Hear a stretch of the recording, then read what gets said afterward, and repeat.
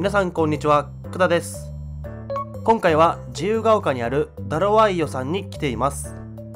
こちらのお店では高級ケーキが食べ放題できます。食べ放題をする場合は予約が必要になっています。このような感じで3部制になっています。ショーケースの中のケーキが食べ放題の対象となっていて1つ700円するものもあります。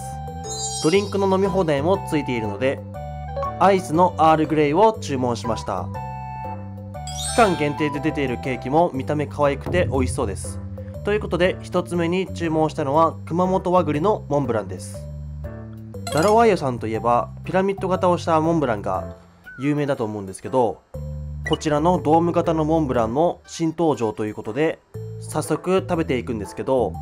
普通のモンブランに比べて色が黄色いですよね。熊本県産の和栗ペーストを使用したマロンクリームとジェノワーズ生地を組み合わせた季節限定商品だそうです。ちなみに9月8日の水曜日からこちらの商品は新発売となったんですけど撮影した日がまさかの期間限定の新商品の発売日と一緒の日だったという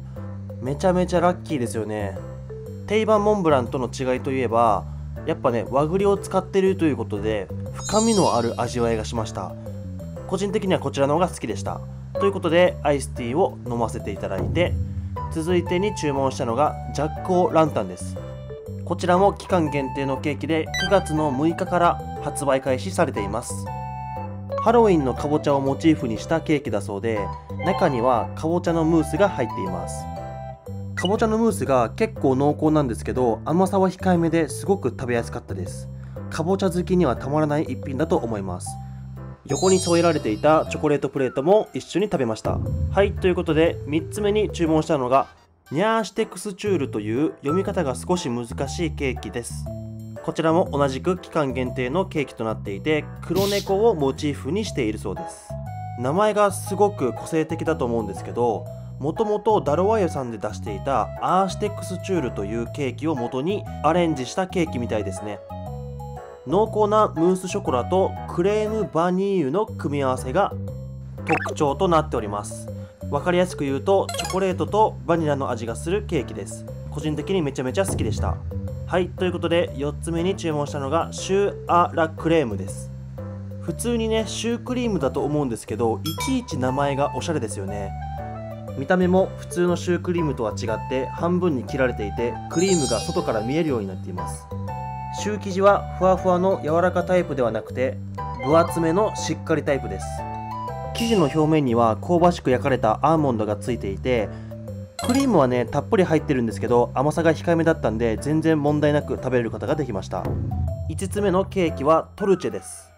サムネを撮っている最中に事故があって亀の甲羅が割れてしまいました。食べる前にめちゃめちゃ亀に謝ったんですけど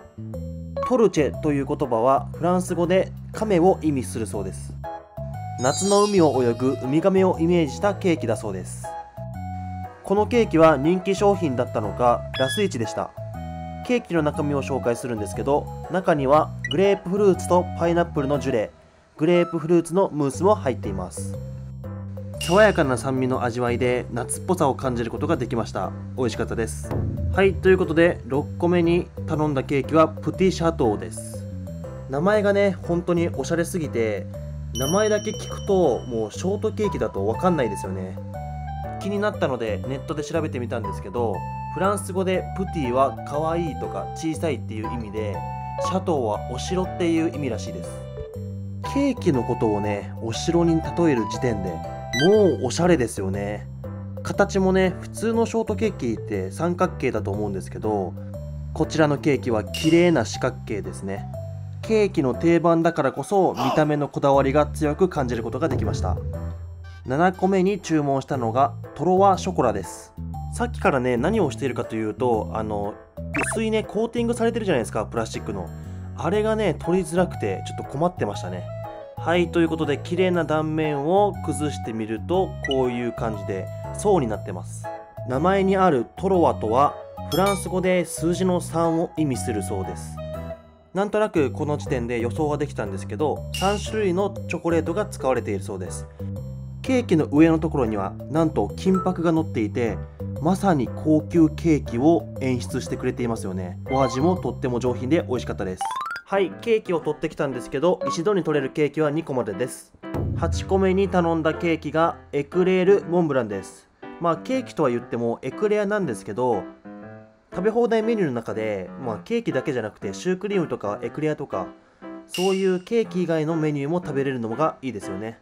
こちらも秋の期間限定メニューとなっていて棒状のエクレア生地の中にはカスタードクリームが入っていて上の部分には濃厚なマロンペーストが乗っています。程よい大きさにカットされた栗も乗っていて極めつけには金箔も乗っているサービス精神最高ですよね。こちらも美味しかったです。はいということで9個目のケーキがマングーですね。マングー。名前からしてめちゃめちゃ好きですね。マンゴーの「ゴー」を「グー」というだけでもうケーキの名前にしちゃうところがダロワイヨさんらしくていいですよね。ジェノワーズ生地にマンゴーのクリームとコンポートを合わせた見た目もマンゴーのプチガトーだそうです。中のねマンゴーのコンポートがもうね完熟したマンゴーそのものでした。